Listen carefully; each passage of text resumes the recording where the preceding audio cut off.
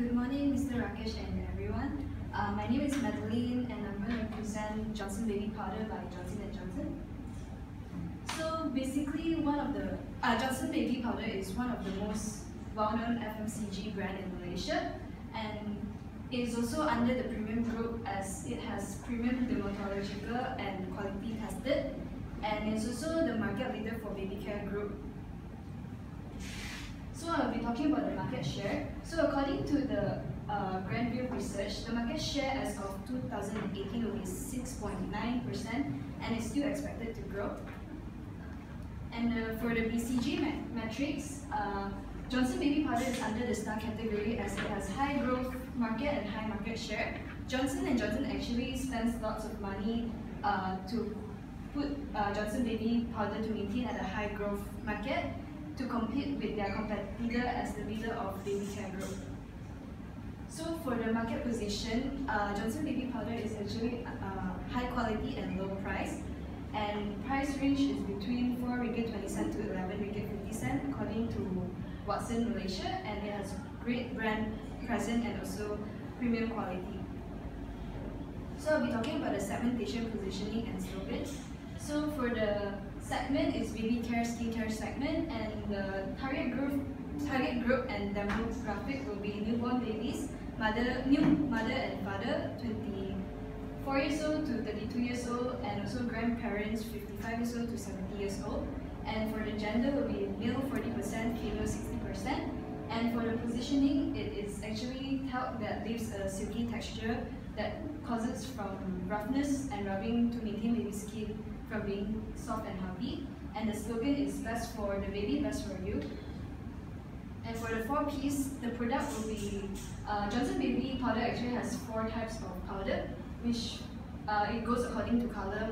Pink will be the baby powder, purple is lavender, blue is aloe vera, and yellow is the medicated baby powder. And for the price, it actually uh, varies from the sizes from 420 to 11 ringgit 50 cent.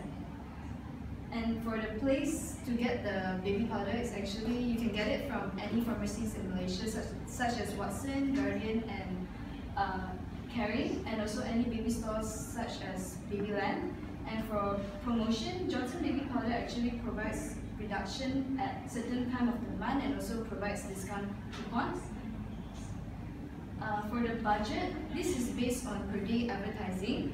Uh, there will be three types of advertising such as printings, uh, television advertising and also digital marketing. So uh, based on these three, the whole budget will be around 141,000 and we'll be mainly focusing on uh, printings and also television advertising. And for the timeline, this is actually the action plan for 2019. So uh, this is how the advertising will be going through for the whole year. And as you can see, we actually focus more on printing such as magazine and also television ads. And for the contingency plan, uh, Johnson Baby Powder needs better flexibility and also quicker reaction.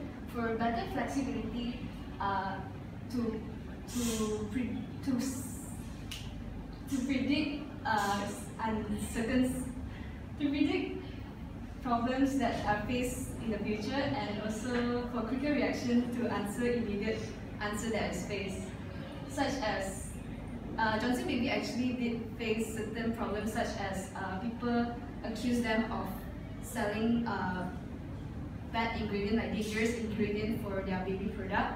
So they need quicker reaction to solve this kind of problems.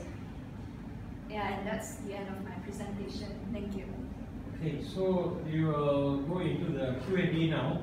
A couple of questions. Now, firstly, for pricing strategy, can you explain what are the types of light the pricing strategy actually it varies for uh, different sizes for small, medium and large.